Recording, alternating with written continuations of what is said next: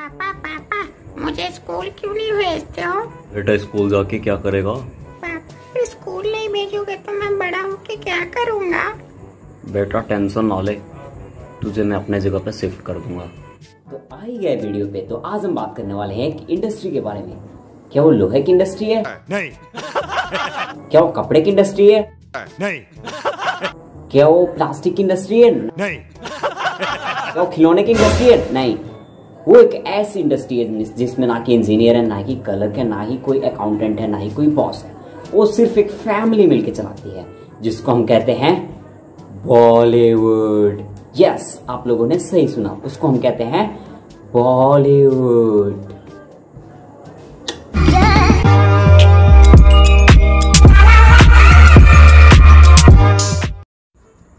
आज मैं बॉलीवुड के पूरे नेपोटिज्म को फ्राई कर दूँगा। देखते जाओ नहीं चढ़ूँगा एक एक का फ्राई करूँगा। तो जब यहाँ तक आप लोग आ ही गए तो मैं आपको इस इंडस्ट्री का टूर करा देता हूँ। तो चलिए वीडियो देखिए। आपको पसंद है? शौक मैं एक्चुअली मेरे टंग को मेरे नोज़ तक टच कर सकती हूँ।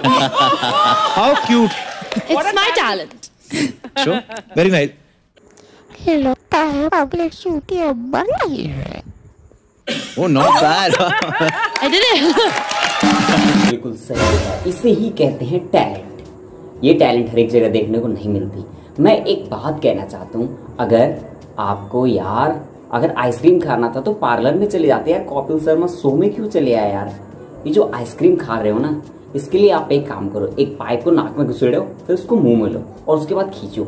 आइसक्रीम अच्छे से आई। हो सकता है तुम्हारे जीप से ना आए। It's a talent it's a big talent ऐसा टैलेंट तो हमारी इस जो भी हो, इसके पास भी है।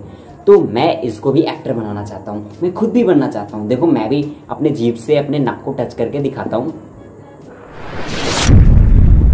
अरे मेरे से नहीं होगा। मेरे को नहीं जाना बॉलीवुड में यार। मैं सही हूँ यूट्यूब पे ही सही हूँ।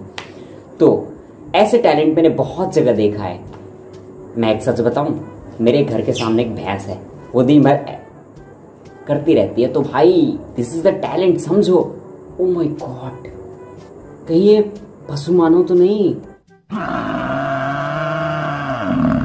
आप सब भी बॉलीवुड में जाना चाहते हैं तो आप बस अपने टोंग को नोज़ से टच करना सीखें इससे आप बॉलीवुड में इजीली एंटर कर सकते हैं। इसके लिए ज़्यादा कुछ नहीं करना है बस अपने टोंग को नोज़ से टच करना है।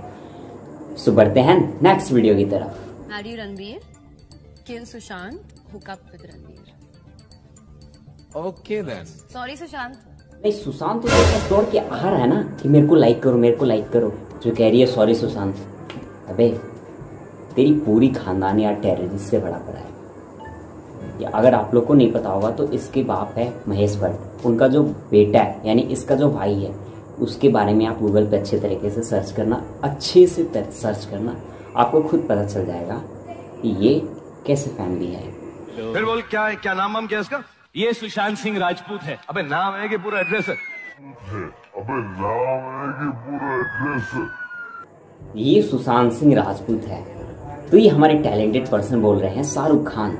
ये नाम है एड्रेस है? सुशांत सिंह राजपूत। ये किसको एड्रेस लग रहा है मेरे को जरा बताना। अबे तेरे को पिक्चर में कौन भेज दिया भाई? कौन भेज दिया तेरे को पिक्चर में? तूने आज तक सुशांत नाम नहीं सुना है? तेरे को एड्रेस लग रहा है ना भाई मैं पूछना चाहता हूँ यार किसने भेज दिया यार तेरे को पिक्चर में? भाई तू एक काम कर यार। लोग कहते हैं कि ऑलराउंडर है और एक्टिंग के साथ साथ सुना है थोड़ा डांस वांस भी अच्छा कर लेता है। ऐसा लोग कहते हैं। ऐसा लोग कहते हैं चलो ये तो बात अच्छी है ना कि लोग कहते हैं। कम से कम तुम्हारी जैसे खुद से ही तारीफ़ तो नहीं करता ना इसकी तारीफ़ लोग करते हैं। तो पता चले गया होगा तुम्हारा और इसमें डिफरेंस क्या है? सुन। अरे इसी के घर के दो चार लोग कहते हैं।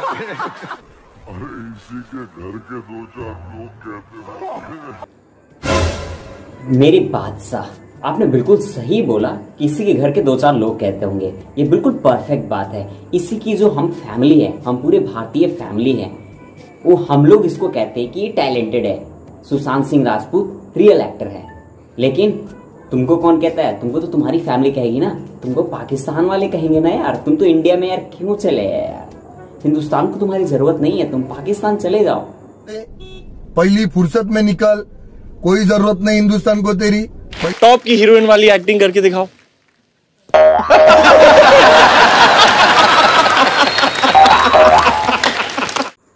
ये बेचारी लड़की मेंटली फिट नहीं है। कृपया इसकी फ़ोटो को शेयर करें ताकि इसके घर वाले इसे मिल जाए। सिलेक्शन हो गया? पक्का? क्या? कल सुबह बॉलीवुड में ज्वाइनिंग हो गया मेरा? ओह, मैं आपसे बता दूँ, ये क्या है? एक काम करो, तुम ना किसी मंदिर के मतलब मंदिर के जो घंटा होता है ना, उसको हटा दिया जाता है, तुम वहाँ पे लटक जाओ। और automatically this is the new system क्योंकि ये ऑटोमेटिकली घंटा है। इसको बजाना नहीं पड़ता है इसको आप आवाज़ दोगे तो खुद से टन टन टन खुद से बजेगा। टन टन टन टन टन टन टन। तो देश डेवलप कर रहा है ना तो ये ये सब डेवलपमेंट है यार पहचानो घंटा। मंदिर के ऊपर टांग उल्टा लटका के बस टन टन टन ऑटोमेटिकली सिस्टम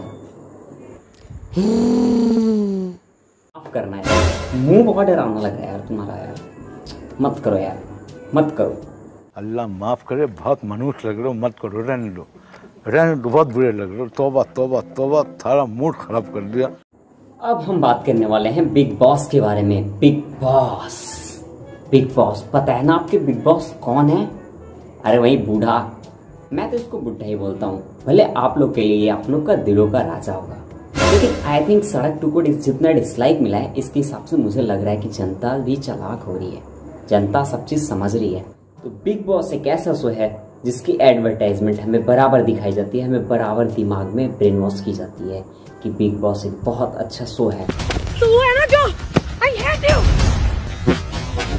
तू है ना जो आई हेट यू और बिग बॉस हर एक साल हर एक सीज़न में आ जाती है आपकी आँखों के सामने। और आप इसे देखते हैं। इसमें हर एक चीज़ देखने को मिल जाती है सिर्फ़ एंटरटेन को छोड़ के। इसमें सबसे इसका फ़ेमस चीज़ है झगड़ा। वो आप देखो, आप कितनी बार भी देखोगे, आपको सिर्फ़ एक चीज़ मिलेगी देखने को, झगड़ा। बाकी इसमें कुछ भी नहीं है। और इसीलिए खल्ली पहलवान को भी रखा गया है, ताकि वो अगर दो पार्टी आपस में झगड़ा करे तो उसको हैंडल कर सके। शाम तक ऐसे नहीं नहीं तो यही है बिग बॉस जिसको फ़ेमस करना रहता है उसका चेहरा हमें एडवर्टाइजमेंट पे बार बार दिखाई जाती है उसकी एड दिखाई जाती है उसकी पिक्चरें दिखाई जाती है बार बार ताकि वो फ़ेमस हो जाए चाहे वो नेपोटिज्म का कोई भी कचड़ा हो। तो आप लोग तो अब बहुत चला चु चलाक हो चुके हो। तो प्लीज़ इस चीज़ पे ध्यान दो। कि क्या नेपोटिज्म है और क्या रियलिटी है। बहुत सारे लोग कहते हैं कि Salman Khan is the most handsome person ओ भाई मारो मुझे मारो मारो मुझे मारो मारो। आप ये फ़ोटो देखो और मेरे को कमेंट में बताओ कि दोनों में हैंडसम कौन लग रहा है।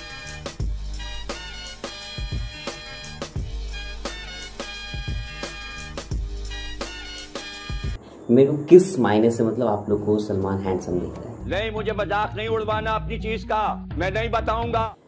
अपने भारत देश को नुकसान, आतंकवाद के बाद बॉलीवुड से होता है, क्योंकि बॉलीवुड के जितने भी ये नेपोटिज्म के ये सब कचड़े हैं ना, सलमान हो गया, शाहरुख हो गया, ये महेश भट्ट का लड़का है, उसका नाम पता नहीं क्या है, ऐसे बहुत सारे हैं, सारे आतंकवादियों से मिले हुए हैं, सारे अंडरवर्ल्ड टेररिस्ट से मिले हुए हैं और अपने खुद के देश में दंगे कराते हैं।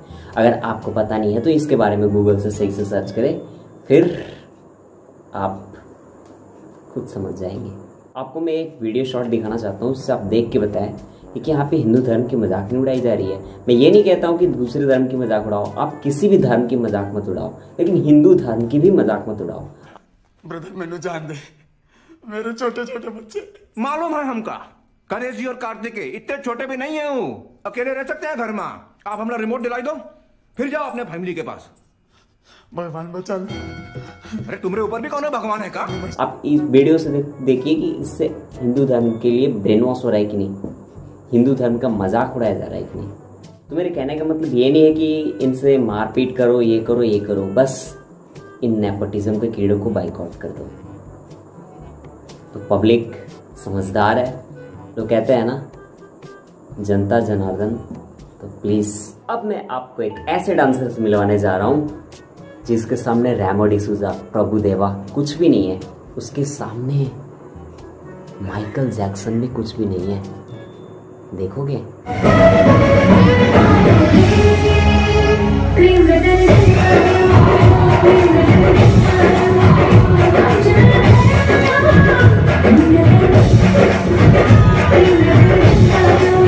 इस अनारकली के डांस पे सारे ऑडियंस पागल होकर गिर पड़े और अभी तक सारे सदमे में हैं। क्योंकि ऐसे डांस देखने को मिलते कहाँ हैं? वे अनारकली अपने डांस बंद कर। बंद कर। अल्लाह माफ़ करे बहुत मनुष्य लग रहे हो मत करो रहने लो रहने दो बहुत बुरे लग रहे हो। तोबा तोबा तोबा थारा मूड खराब कर दिया। वे लड़की पैदा क्यों नहीं हो गया यार? सो प्लीज़ अगर मेरी वीडियो आपको अच्छी लगी हो तो इसको लाइक कर दो। मुझे पता है जो भी सलमान के फ़ैन होंगे ना और जो नेपोटिज्म को सपोर्ट करते हैं होंगे वो डिसलाइक करेंगे। लेकिन मुझे पता है जो लोग नेपोटिज्म के अगेंस्ट है सुशांत सिंह राजपूत को जो लोग सपोर्ट करते हैं वो हमें लाइक करेंगे। तो डिसलाइक से ज़्यादा लाइक वाले लोग हैं मुझे पता है। ये चीज़ मुझे पता है पहले से ही पता है। सो so, प्लीज़ मेरी वीडियो को लाइक करो और चैनल पे आ ही गए हो तो मेरे चैनल को सब्सक्राइब भी कर दो। क्योंकि देखो ये नहीं पता है कि मेरा वीडियो यूट्यूब कब डिलीट कर दे तो उसके पहले लाइक भी करो और शेयर करो यार। अबे तुम्हें बॉलीवुड में जाना है? नहीं मेरे पापा नहीं जाएँगे। तो चुप पे तेरे बाप की सिलेक्शन हो जाएगी। अरे भाई साहब मेरे से बात करो। अब ये अपने जीप को अगर आप नाक से टच करोगे ना तो आपको बॉलीवुड में एंट्री मिल सकती है। ये आजकल ट्रेंडिंग पे चल रही है। मैं अपने जीव को नाक से टेस्ट कर सकती हूँ।